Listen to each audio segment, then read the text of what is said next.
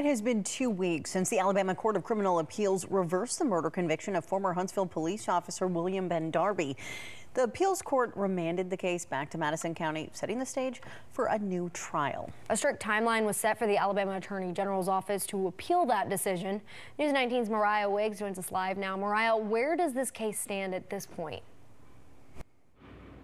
Ladies, the attorneys for former HPD officer William, excuse me, William Darby are waiting for a response this morning as to whether his previous bond will be reinstated. This after the Alabama Attorney General's office did not request a rehearing from the Court of Criminal Appeals. The Court of Criminal Appeals had a stipulated 14 days for a request to rehearing, but that window closed on Friday. This means that the Attorney General's office can no longer go to the state state Supreme Court to overturn the appeals court ruling. The motion by Darby's defense to reinstate his bond was filed on Sunday morning. Darby had been sentenced to 25 years in prison for the 2018 on-duty shooting of Jeffrey Parker. The appeals court found the trial judge should have instructed the jury to evaluate the fatal shooting based on how a reasonable police officer would have responded. The appeals court remanded the case back to Madison County, setting the stage for a new trial.